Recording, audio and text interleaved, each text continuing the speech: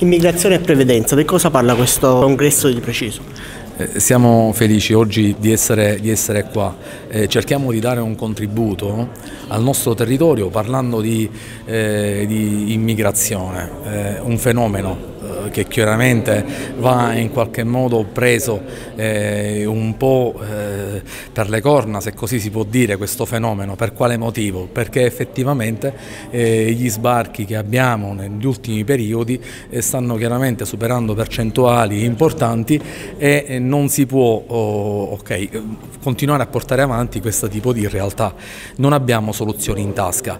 La Confederazione oggi CIFA eh, prende un po' per mano quelle che le attività del governo italiano, dicendo che cosa? Eh, portiamo avanti una contrattazione eh, collettiva nazionale, abbiamo all'interno dei fondi for di, di, formazione professionale, utilizziamo eh, diciamo, proficuamente i fondi Fonarcom in questo caso per stabilire una connessione con gli altri fondi a livello internazionale, con i fondi migratori, per cercare di creare un asilo differente eh, con il decreto flussi del governo e utilizzando oh, diciamo, lo stesso decreto flussi per aumentare le percentuali di ingresso nel territorio nazionale utilizzando le competenze. Quando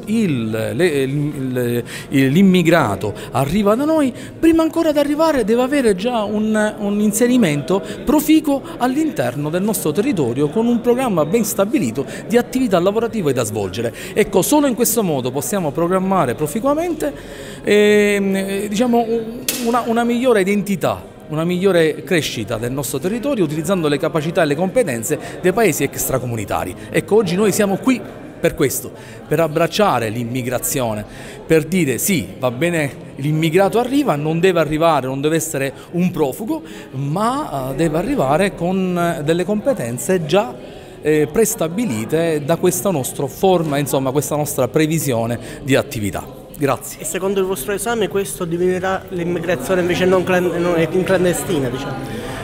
Ma in qualche modo eh, non possiamo limitare questo, eh, i profughi a arrivare dalle nostre parti, ma c'è un motivo perché questa gente arriva. Allora capiamo perché questa gente vuole arrivare dalle nostre parti, qual è il motivo? Sicuramente perché cercano un nuovo inizio.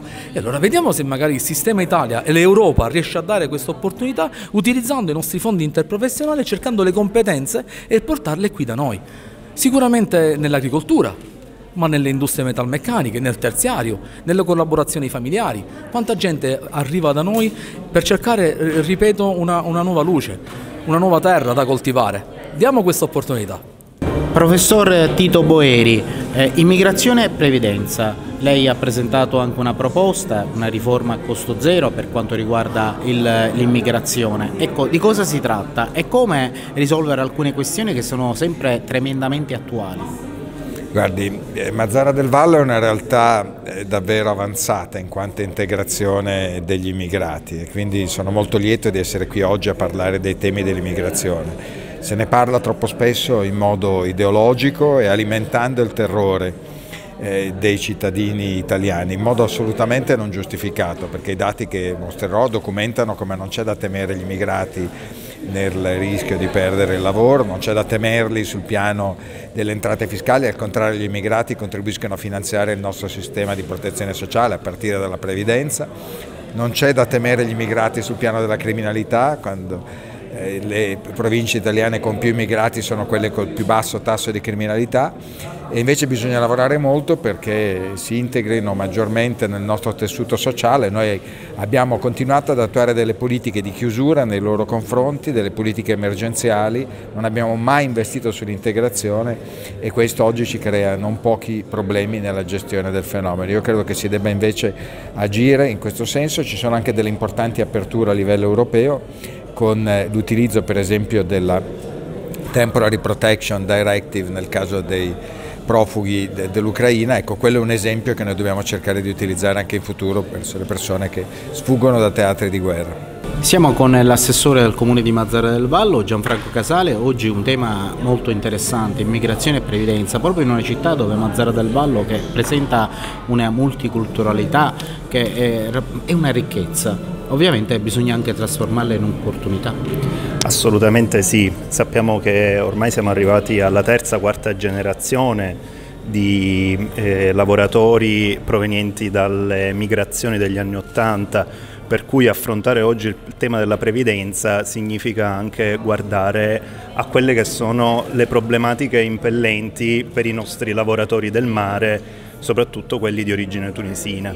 Quindi un grande applauso al CIFA Trapani che ha organizzato proprio a Mazzara questo evento, questo convegno e speriamo che eh, all'interno del dibattito possano emergere non soltanto i nodi ma anche quelle che sono le soluzioni per i tanti problemi che sicuramente emergeranno per i tanti lavoratori del mare di origine italiana o di origine tunisina, anche se a me questa differenza eh, piace poco e che domani dovranno eh, prepararsi ad affrontare il tema della, della, della loro pensione, della loro, eh, del loro fine eh, lavoro.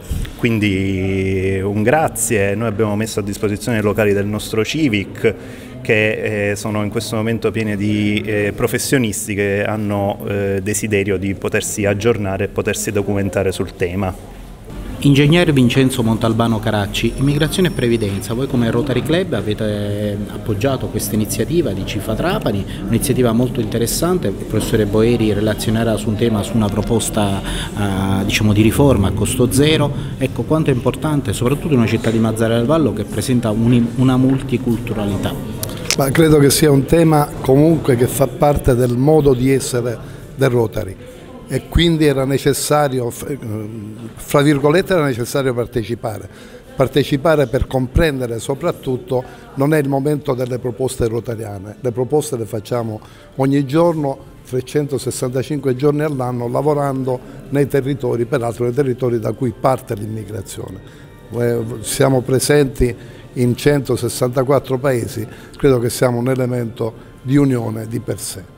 Peraltro eh, siamo reduci dalla giornata di ieri in cui si è celebrata per la ottava volta eh, l'invocazione rotariana alla pace, in cui si vedono assieme, si parlano e si discute assieme con i rappresentanti delle religioni delle monoteiste del Mediterraneo. È un elemento di unione e uno dei tanti elementi su cui il Rotary si muove.